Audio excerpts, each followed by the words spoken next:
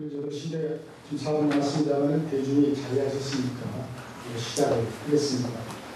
아시듯이 시간의 구성은 60분에서 90분 정도 법사님께서 강사하시고 한 120분 정도 대중 토론이 이루어집니다. 이런 식으로 매 해마다 이렇게 구성이 되어 있습니다. 근데 어제 대중들께서 토론에 참여하신 얘기가 뜨겁다 보니까 준비되어진 주제를 다 토론하지 못하고 끝났습니다. 그래서 오늘 이 시간에는 음, 법사님 강사 이전에 어제 제기되었다가 다루지 못한 토론 주제를 다루고 그리고 마치고 나서 다음에 이어서 법사님 강사를 듣고 다시 또 토론 이런 순서로 의미를 변경해서 운영하도록 하겠습니다. 어, 아시듯이 오늘 이 야당 법석 자리는 어, 경에 드러난 사상 우리가 일반적으로 금강경에 대해서 일반적으로 함께 이해하고 공감하는 사상을 바탕으로 해서 오늘날 한국 불교의 현실을 점검하고 반성하고 또 정법을 향한 대안을 모색하기 위한 것이 원래의 취지입니다. 그래서 오늘 그 대통령들께서 오늘 금강경의 내용을 공부하는 자리가 아니기 때문에 금강경의 내용에 관한 질문이나 또는 그 문제제기보다는 우리가 일반적으로 함께 공감하고 이해하고 있는 사상을 토대로 해서 현실을 점검하고 반성하고 대안을 찾는 쪽으로 질문을 방향을 그렇게 잡아주셨으면 합니다. 그러면 바로 시작을 하겠습니다. 음, 어제 첫 번째 금강이 고위경제로서 어, 충분 한가에 대해서 토론이 있었습니다. 그래서 어제 많은 얘기가 있었기 때문에 오늘은 그 문제는 어제로 다루면서 끝내도록 하고요. 부족한 부분이 있어도 개별적으로 뒤주로 하시길 부탁드리고 이어서 두 번째 점검 1부분과 2부분 이어서 시작하도록 하겠습니다. 먼저 법사님께 요리 말씀 듣고 바로 토론을 들어가겠습니다. 예, 아, 죄송합니다. 저기 법사님께서 아침에 간곡히 부탁을 했는데 제가 좀 놓쳤습니다. 오늘 8일호입니다. 그래서 오늘 뜻깊은 말 와서 사업대전 모두가 수선열과 그다음에 민족을 생각하고 생명 평화를 생각하는 그런 목념의 시간을 함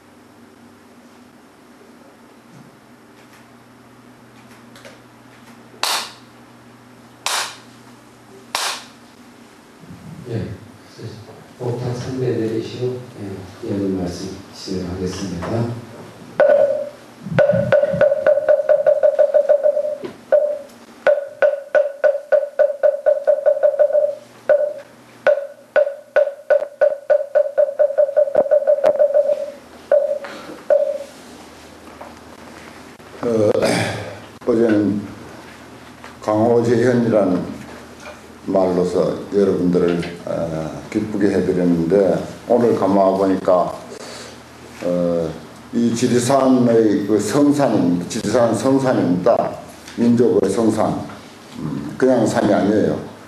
어, 정말 웅장하고 음, 뭔가 그 위험이 서린 그런 것을 그냥 아무리 눈이 나쁜 사람이라도 일견에 느낄 수 있도록 되어 있는 산이 바로 지리산입니다. 이 지리산 산중에 와서 어, 며칠 밤 이렇게 전기를 받으면서 어, 지리산과 한 몸이 된다고 하는 이 사실만으로도 우리는 여기에 온그 어, 값과 보람이 충분하리라고 생각을 합니다. 여기서 어, 공항에 대한 이야기를 듣고 기타 법사스님들에게 불교에 관계된 이런저런 궁금증도 풀고 하는 것은 이건 그 여벌이라고 생각해도 충분히 좋지 않을까 아, 그렇게 생각합니다. 그래서 어, 무슨 말씀인가 하니 가볍고 즐거운 마음으로 어, 토론도 하고 이야기도 서로 나누자는 것입니다. 여기서 어, 지금 이 자리에 온 값은 충분히 벌써 했다고 저는 그렇게 믿어집니다. 산 쳐다볼 때마다 여러분들이 고맙다. 여러분들 덕택에 나도 여기까지 왔으니까 얼마나 어, 이 다행인가 이런 생각을 하게 됩니다. 어, 뭐 시중에 사시던 분들이 더 하겠죠. 우리가 평생 산에 살았어도 그렇게 느끼는데 아 시중에 살던 분들이야 뭐 더 말할 날 있겠습니까? 감동 감동 이제 감동의 도가니죠. 쳐다만 봐도 누가 뭐라고 말 안 해도 어, 함께 공감하리라고 생각합니다. 오늘 사회자께서 말씀하신 어, 그 점검 1 어제는 점검 특입니다. 특 오늘은 점검 1이고 이와 같이 저는 들었습니다 라고 한 그 어, 경전의 첫 구절을 우리는 경전을 대할 때마다 늘 어, 읽게 됩니다. 어, 정말 무심히 넘기는 부분이죠. 이것은 어제 어, 제가 충분히 말씀을 드려서 더 이상 어, 토론할 필요는 없다고 생각이 들고 무엇보다 한 번 더 짚고 어, 싶은 부분은 어, 우리 불자로서 어, 모든 경전은 심지어 엊그저께 그 어, 우리나라에서 편찬된 천지 파란경까지도 어, 다 부처님이 설하시고 아란전자가 어, 500명의 대중들 앞에서 결집을 해서 점검을 받고 그리고 어, 우리의, 우리의 손에 전해졌다라고 생각을 하고 경전을 대하는 그 자세가 필요하다라고 하는 어, 그런 어, 말씀을 또 다시 한번 어, 드립니다. 어, 그래서 우리는 저는 이와 같이 저는 들었습니다라고 할 때 정말 제가 들은 대로 말씀드리는 것이지 어, 부처님이 이렇게 말씀하셨다 아니면 지리산에서 무비스님이 이렇게 말씀하셨다 이건 아니라는 것입니다. 누가 말씀하시는 것을 저는 이렇게 들었습니다 라고 하는 그 자세 그건 사실 알고 보면요 엄청난 차이가 있습니다. 그 정도 우리가 유의하고 뭐 어, 점검 1사항은 그렇게 해서 넘어가도록 하겠습니다. 어, 그 다음 점검 2 에, 사이국 기수급 고도원에 계셨습니다. 이 점도 제가 아, 상당히 에, 그 힘주어 설명을 했습니다. 음, 정말 고독하고 외롭고 힘들고 그늘진 곳에 고통받고 사는 사람들을 얼마나 불자로서 보살피고 있는가 하는 이 문제입니다. 어, 사실은 불교는 어떻게 보면은 보살행입니다. 정말 바람직한 불교는 보살행입니다. 보살행하지 않는 사람을 우리는 소성이라고 매도합니다. 그냥 소성이라고 매도하는 정도가 아니고 부불법 외도, 불법에 붙어 사는 외도다라고까지 매도합니다. 그건 이제 자리만은 취하고 이타는 전혀 어, 생각하지 않는다는 것입니다. 법화경이 아주 좋은 예로서 에, 부처님이 성도를 하시니까 빛이 비쳤다. 그것은 무슨 말인가 하니 우리들 삶에 불교라고 하는 위대한 가르침과 인연을 맺고 나니 그것이 하나의 나에게 빛이 되었다. 그 빛을 통해서 돌아보니 옆에 사람이 있더라. 이렇게 표현되어 있어요. 그동안도 사람이 있었는데 그 빛을 통해서 비로소 옆에 사람이 있다는 것을 알았다. 나는 그 대목 대통지성불이 성도 한 부분에 나오는 이야기인데 나는 그 대목을 읽을 때마다 불교가 바로 이것이구나. 어. 불교가 세상에 있을 때 또는 불교가 나에게 있을 때 무슨 역할을 하자는 것인가? 옆에 사람이 있다는 것을 인식하는 것이다. 옆에 사람이 있다는 것을 인식하는 것이다. 대통지성불이 성불을 했는데 그렇게 간단하게 표현했어요. 이야, 정말 압권입니다. 예. 성불의 의미가 뭐냐? 옆에 사람이 있다는 것을 볼 수 있게 됐다 하는 것이니까. 예. 그렇습니다. 그 말은 결국은 어, 이타행, 보살행, 어, 그리고 남을 배려하는 거기서 더 나아가서 여기서 이야기하고 있는 어, 힘들고 어, 외롭고 어, 고독한 사람들을 어, 돌보는 어, 그들을 어, 돌보는데 요는 가장 중요한 것은 진리의 가르침으로 법으로서 어, 그들을 어, 위로할 줄 아는 그런 자세가 가장 우선합니다. 그리고 그 다음에 2차적으로는 물질적으로 돕는 것입니다. 불교에서는 그래요. 어, 세속에서는 물질이 우선이지만 불교에서는 진리의 가르침, 바른 이치에 대한 가르침으로서 그들을 어, 안, 안정시키고 편안하게 해주는 것. 이것이 제일 우선입니다. 그래서 부처님은 어, 평생 중생을 위해서 살았지만 누구 하나 밥 한 숟가락 보시한 적이 없습니다. 부처님은. 오로지 진리의 가르침으로서 어, 세상에 사는 삶에 대해서 바른 이치로서 우리들을 깨우치는 것으로서 어, 법공양을 올리고 법보시를 했다고 하는 것입니다. 이걸 늘 우리는 생각해야 돼요. 어, 그냥 세상을 돕고 어, 위하고 어, 가서 뭐 헌신적으로 봉사하고 이것만이 제 일이 아닙니다. 그건 우리가 안 해도 사실은 돼요. 어떤 의미에서 보면. 그러나 우리가 그것을 하는 것은 불자가 그것을 하는 것은 거기에 부처님의 정신을 담아서 밥도 한 그릇 드릴 수가 있고 봉사도 할 수가 있고 어, 말하자면은 어, 무슨 뭐 어, 강과 산과 산과 자연을 살리기 운동도 부처님의 정신을 거기서 담아서 해야지 그냥 어, 강을 살린다 산을 살린다 어, 자연을 살린다 하는 것은 그건 우리가 하지 않아도 될 일이라고 하는 것입니다. 불자가 그런 일을 할 때는 분명히 부처님의 사상이 거기에 개입돼서 하는 것이다 라고 하는 거 그래서 여기서 외로운 사람들에게 밥 한 그릇 주는 것도 어, 바로 그런 그 어, 부처님의 마음을 담아서 어, 전달해야 비로소 불자가 어, 말하자면 사회에 에, 헌신하는 것이고 회양하는 것이다. 저는 그렇게 에, 말씀드리게 되겠습니다. 이런 문제에 대해서 좀더 어, 좀 구체적으로 어, 그리고 어, 헌신적으로 그리고 좀 더 크게 음, 뭐 개개인이야 물론 잘합니다만은 좀 더 이제 어, 어떤 어, 단체가 이루어져서 어, 좀더 어, 왕성하게 할 수 있는 그런 그 어, 길이 없을까 그런 단체 그런 운동이 일어났으면 참 좋겠다 하는 그런 그 어, 생각을 저는 평소에 늘 하고 있습니다. 정말 제대로만 한다면 정말 힘껏 돕고 싶기도 하고요. 어. 어, 저는 뭐 이야기 이쯤 하고 어, 그 여러분들의 고견을 어, 듣는 시간을 갖도록 하죠. 네, 말씀 감사합니다.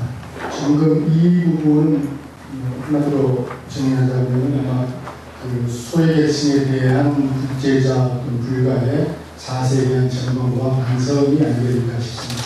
그런데 뭐 현실과 사회 참여 문제와도 연결되지 않겠는가라고 볼수 있는데요. 그럼 우리 이 부분에 대해서도 어떻게 점검하고 반성할 것인가, 또 어떻게 해야 할 것인가에 대한 문제가 아닌가 싶습니다. 대중 가운데 여기에 대해서 어, 자신의 어, 평소 생각하셨던 것을 어, 밝히실 분 있으시면 또는 문제 제기하신다든지 또는 뭐 오늘날 이 현실 참여나 소외대신에 대한 어, 생각에 대한 비판 어, 좋습니다. 말씀하시고 어제 발언 저런 걸못 가지고 신문 가운데 이, 이, 부- 이 부분에 대해서 말씀하실 수 있으십니까? 예. 예, 교민입니다. 할말 많아서 밑으로 내려왔습니다. 서서 하는 게 대중 보고 네, 인물도 잘생겼습니다. 그런데 예, 화원한 교민입니다. 질문은 이쪽으로 해야 돼. 질문이 이쪽으로 하고 그래야 해요? 아니, 질문이 아니라 토론인데 마음대로 하십시오. 예, 두 번째 그 소외 저는 이렇게 생각합니다. 어느 분이 그런 말씀을 하셨잖아요. 서울역의 노숙자들에게 무료급식을 할 때는 보살행이라고 찬탄하고 왜 이렇게 무료급식을 해야 되는 노숙자들이 왜 생길 수밖에 없느냐라고 사회와 정치권에 문제 제기를 하고 근본적인 해결을 구하려는 이상한 생각력을 쓰고 이런 말을 듣습니다.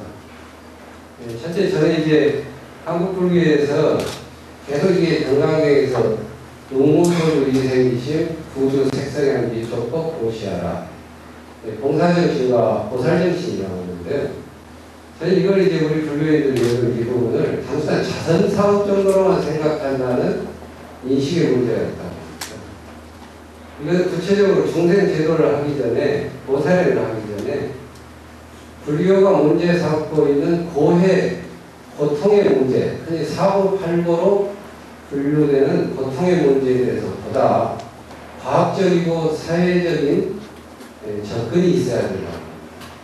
반드시 이제 생로병사라고 하는 존재론적인 어떤 그런 예, 이미지, 그 애별이고 원증으로 표현되는 그런 것으로 볼 때니 보다 우리들이 고통을 분석하고 인식을 좀 안리하다고 생각합니다. 고통이 단순히 생로병사라는 존재론적인 차원에서 하니까 이건 참선하고 경전 읽어가지고 깨닫고 그 부분을 복고시하라. 현실적으로 노숙자가 많고 이러니까 가서 밥 주고 자원봉사하라, 자선하라. 자, 우리가 볼 때는 고통에 대한 인식이 이렇게 되니까 그 대응 방법도 단순히 법보시라고 하는 것으로서의 법문, 그리고 현실적인 사안에 대한 자선 사업, 이걸로 저는 단약이 노골로 있다고 봅니다. 그래서 가장 중요한 부분은 예, 보살행을 할 때보다 고통의 부분을 개인적인 고통, 그 다음에 사회적인 고통, 예, 인류, 인류가 안고 있는 여러 가지 고통들, 예를 들어서 환경 문제 같은 경우, 예, 인종차별에 대한 문제, 요즘 다문화 가정도 아주 심각합니다. 그래서 예, 제가 하고 싶은, 드리고 싶은 말씀은 이게 고해에 대한 보다 과학적이고 사회적이고 인류적인 고해에 대한 인식들을 보다 지평을 넓힐 필요가 있다. 그렇지 않다고 한다면 불교의 보살이라고 하는 것은 겨우 법보시다, 제보시다라고 하는 이런 차원에서 예, 말씀으로 그냥 단순히 말씀으로 가는 것, 자선사업으로 가는 예, 그러한 좁은 의미, 간접적인 의미, 개인적인 의미로 머물 수 있을 수밖에 없다. 그래서 사회 인류적인 고통으로 과학적으로 접근해서 거기에 맞는 예, 대응 방법을 보살을 추천해야 된다. 이것이 제 생각입니다.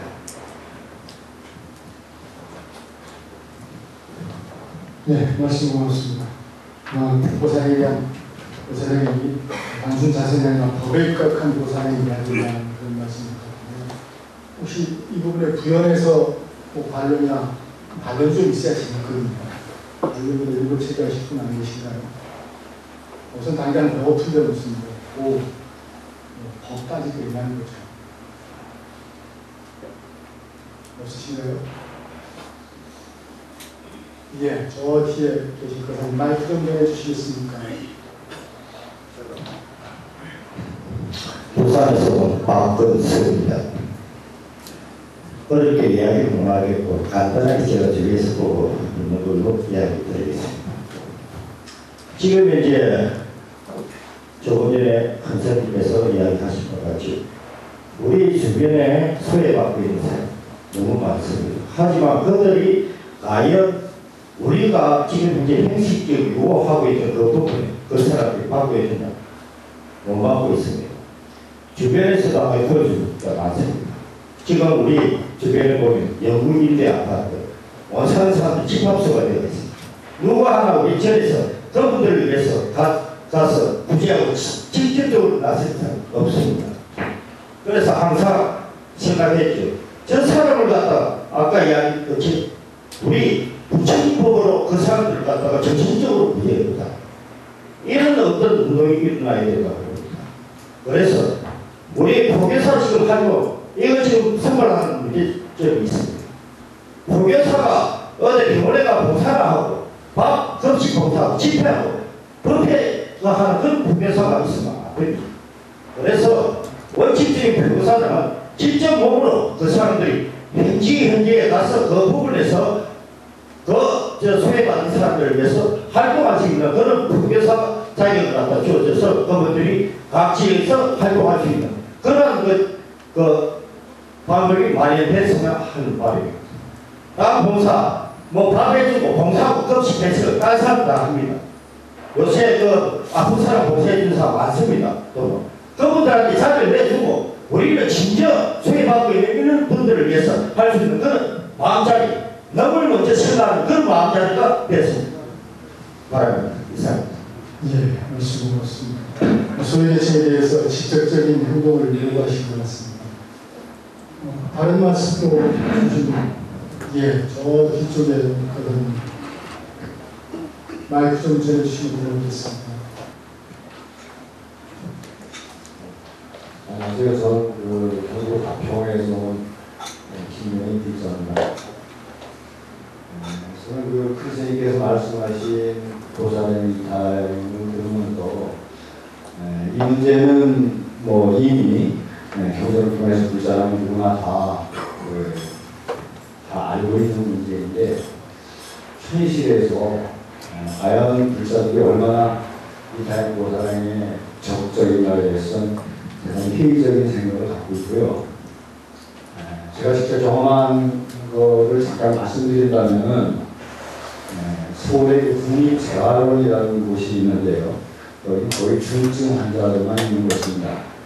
자기 몸을 움직이지 전혀 수백 병을 볼 수 없는 분들만 모신 병원인데 이 병원에서 대한불교 조계종 사회복지재단에서 그 정적인 봉사 활동을 나가는데 여기 환자들이 이제 남자분도 계시고 여자분도 계시는데 에, 여자분 환자들은 여자 봉사자들이 목욕을 시켜야 되고 남자 환자들은 이 거사들이 와서 봉사를 목욕 봉사를 해야 되는데 그 거사 봉사자들이 없어가지고 남자 환자들을 보살 봉사자들이 가서 그 남자 목욕을 시키고 있습니다. 그 이런 걸 보면서 에, 물론 그나마도 대한불교 조계종 사회복지재단에서 하고 있습니다만 그이 생명평화를 그 얘기하는 그 이- 이런 그 문제의식을 갖고 있는 분들이 먼저 에, 그런 그 소외된 부분에 대한 관심을 먼저 가지시고 그런 운동을 피시는 게 현실적인 방법이 아닐까. 늘 뭐 정당에다가 뭐큰 사찰에서 에, 누군가가 해드리고 기대할 것이 아니라 에, 또 앞으로 계획하시고 계시는 그 선언에서 에, 에, 이런 문제에 대해서 먼저 시청하면서 이런 운동을 피시는 것도 에, 올바른 방향 방법이 아닐까 에, 이런 그 제안을 드리고 싶습니다. 감사합니다. 네, 감사합니다. 어, 이 주제에 대해서 얘기의 방향을 좀 잡아야 될 필요가 있을 것 같습니다. 그래서 발언을 좀 제가 신청을. 어, 어찌 보면 이분이 계셔서 우리가 불교의 불교가 한국 사회에 그만한 체면을 유지하고 있지 않는가. 그래서 불교의 자존심이라고 할 수도 있고, 어찌 보면 극고도 보살이라고 할 수도 있겠는데, 어, 지금 그 한국 그 신사회의 대우라고 준 수련스님께서 이 자리에 함께 하고 계십니다. 그래서 아마 마음에 담아두신 말씀이 많으리라고 보는데 수련스님의 말씀을 좀 듣고서 우리에게 방향을 좀 써봤으면 합니다. 일단 이 말씀 좀 해주시죠.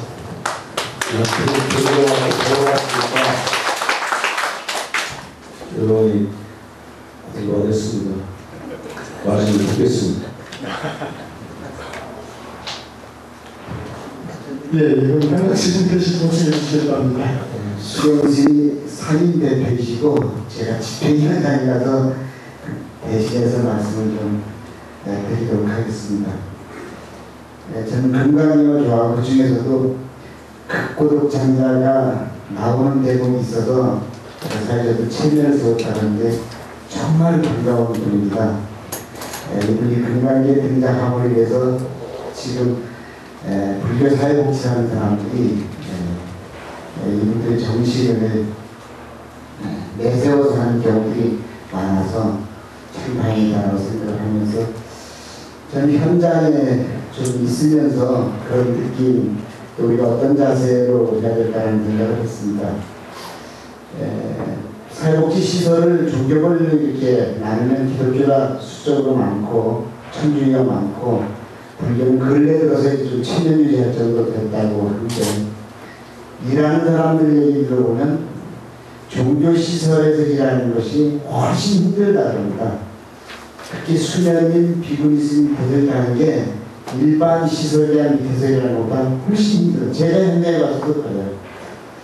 우리가 종교를 내세우고 사람과 자비를 하면서도 그걸 실질적으로 우리 몸에 배어있지 않는 경우가 너무 많아서 오히려 역으로 더 힘들게 하는 경우들이 에, 많이 있어서 이것이 좀 에, 반성을 해봐야 될 필요성이 있다고 생각을 하고 에, 저는 작은 도시 원주에서 어린이집 세 군데 유치원이나 일반 복지관 그리고 브라인 시설 그리고 또 청소년 시설 강릉 장애인 복지관 그리고 또 작은 요양원 그리고 야동 시설 이렇게 여덟 개 시설을 다니면서 이제 관여를 하고 있는데 일하는 사람들이 그 간구하는 것들이 그것입니다.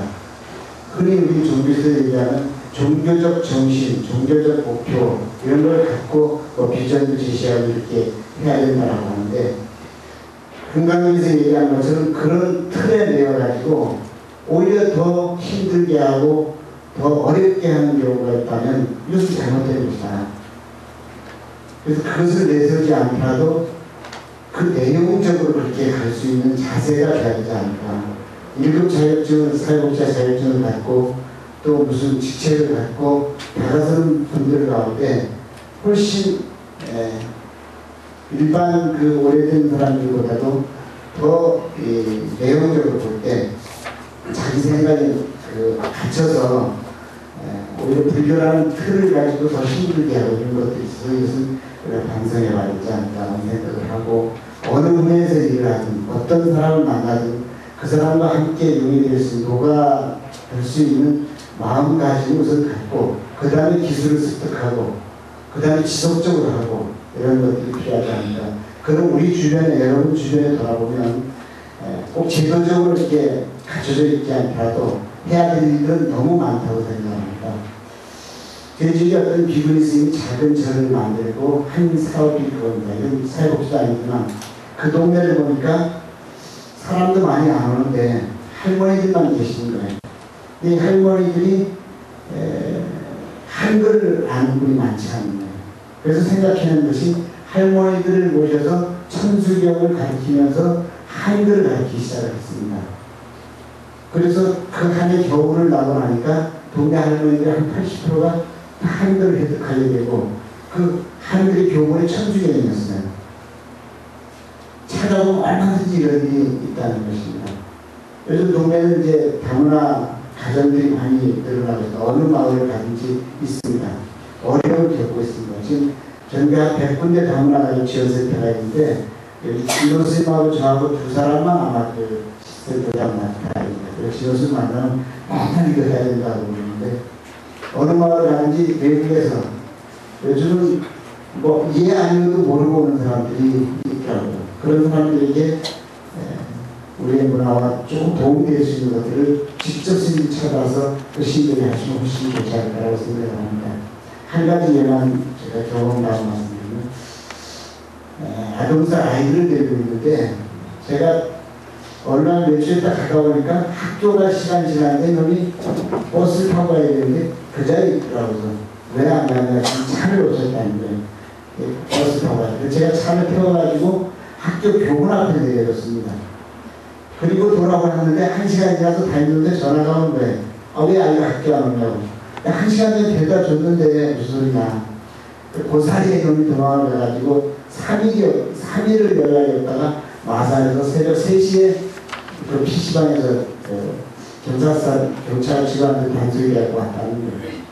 그래서 그 아이를 데리러 3시에 가면서 라디오를 듣는데 어떤 목사님 부부가 그 사회복지 인간의 시설은 아니면 개인적으로 하는 거였더니 아이들을 그렇게 이제 10여 명 데리고 있는데 그 아이들 중에서 거기 살다가 나간 아이들도 있고 그런데 하루는 외출을 했는데 외출했다 와보니까 집안에 도둑이 들어가고 난장판이 된 거예요. 그런데 물건만 훔쳐간 게 아니라 이 하면서 이불을 펴고 뭐 그 안에다 그것을 표현이 그래. 거기다 똥까지 싸놓고 갔다는 거예요. 근데 그게 거기 살던 아이들이 그랬다는 거예요. 거기서 살던 아이들이 집안에 있는 귀중품을 훔쳐가고 또 그렇게 힘들게 하는 거예요. 그러면서도 그것을 원망하지 않고 그 아이를 더 사랑해야 되겠다는 마음 그런 내용을 들으면서 아, 이것도 물건을 안 훔쳐갔으면 그보다 좀 낫지 않을까 그런 생각도 하면서 어떻게 그들의 마음을 이해하고 하나가 될 수 있는 자세가 아니면 아무리 거룩한 부처의 말씀을 앞에 내세운다 하더라도 그들과 가까워지기가 어렵지 않을까라는 생각을 하고 우리 주변에 내가 뭔가 도움될 수 있는 일을 찾아서 하는 것 이것이 극보를 장자가 했던 정신과 일치하지 않나 생각을 하고 불교가 얘기해야 된다. 무엇이 된다. 이렇게 자꾸 내세우는 것은 위험하다는 생각을 저는 평소에 갖고 있습니다. 네, 말씀 감사합니다. 보살을 어떻게 해야 된다는 태도에 대한 말씀이셨습니다. 지금 다루고 있는 점검 2의 주제는 18쪽의 그 점검 7의 주제와 매를 같이 한다고 봅니다. 법사님께서 무주상도시를 제외하고 무주상도시와도 한적이 있는가 한번 돌아보자는 그 말씀을 주셨었는데 대님들께서는 바로 이제 이 점검 7과 점검 2를 연계해서 말씀 주신 부분이었습니다. 그리고 이제 아마 이 우리가 지금 현재 이런 유상 유상 도시를 떠나서 어, 소외층에 대해서 불교계의 적극적인 행동이 부족하다는 것에서 다들 공감하고 있는 것 같습니다. 그렇다면 앞으로 어떻게 해야 할 것인가 그 부분을 어떻게 해야 할 것인가에 에, 대해서 말씀드리고 있었습니다. 예, 가운데 계신 서울에서 감사합니다.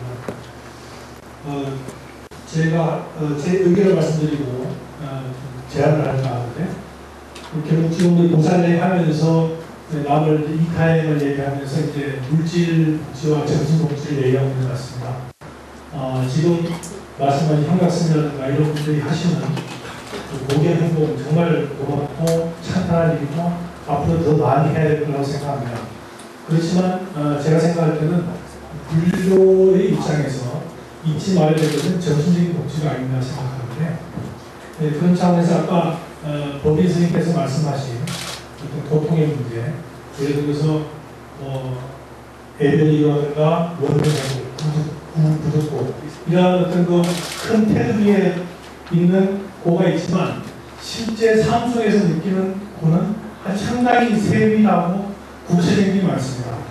그런데 실제로 전에 와서 얘기 듣는 것은 어떤 원칙적인 얘기만 듣지 그것을 실생활에서 어떻게 풀어나가야 될 것인지에 대한 이해와 어떤 방법론과 이런 테크닉들이 굉장히 부족함을 느끼거든요.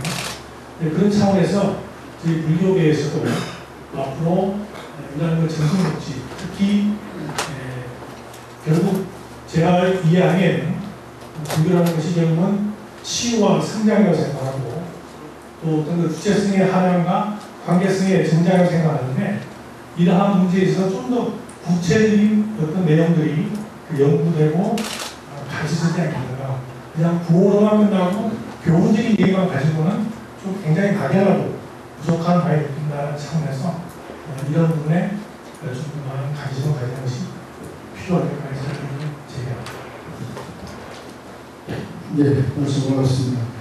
그 바깥에서 발언을 신청하신 분이 계셔서 밖에 있는 분 말씀 한번 들어봤으면 좋습니다. 그 밖에 마이크 설치되어 있죠? 네. 네. 밖에 마이크를 이용해서 말씀 주십시오. 네. 저는 저 구미에서 온 지호라고 합니다. 어저께 그 법주 스님께서 금강경이 불교의 소위 경전으로 타당한가라고 하는 그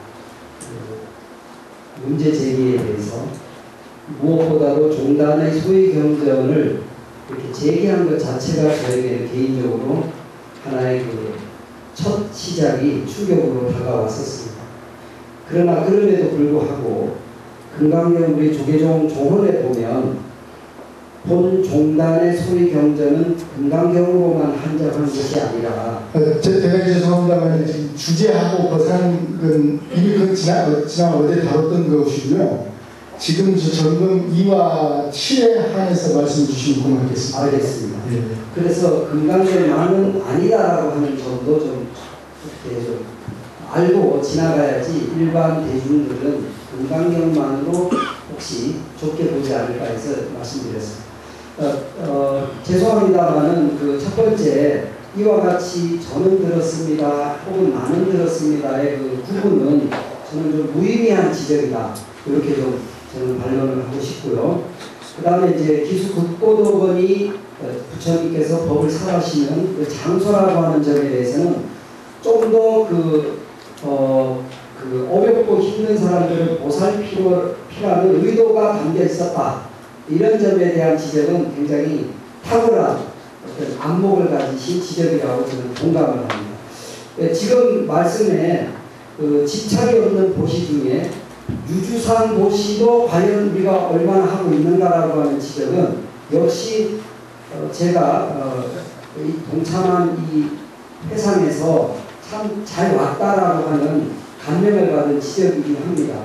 저는 우리 종단의 주요 소임자, 즉 총무원장이나 교부 본사 주지 스님, 혹은 종단의 큰 사찰의 사찰 임원진 우리 그 제가 불자님들이 이 부분을 가장 좀 그 가슴 깊게 새겼으면 좋겠고 향후 중단의 조- 중요 소임자나 제가 임원진은 반드시 그 종책에 임하기 이전에 그런 사회복지 시설에서 목욕공사나 도시락 배달 공사 혹은 병원 공사 이런 것들을 거치지 않으면 아예 자격을 박탈하는 이 정도의 어떤 강력한 요구가 좀 있어야 된다 이런 생각을 가지고 있고 여러분 설문조사 좀, 좀 잘해주시기 네, 말씀 고맙습니다.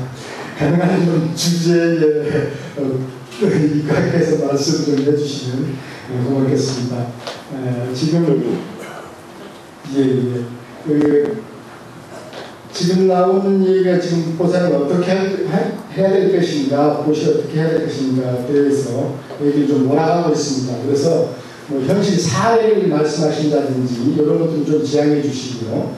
어, 또 이걸 우리가 어떻게 해야 될 것인가에 대해서 조금 좁혀서 말씀해 주시면 고맙겠습니다. 저 뒤쪽에 그 마이크 좀 들어주시겠습니까? 예. 저 뒤쪽에 앉아 계신 보살님. 네.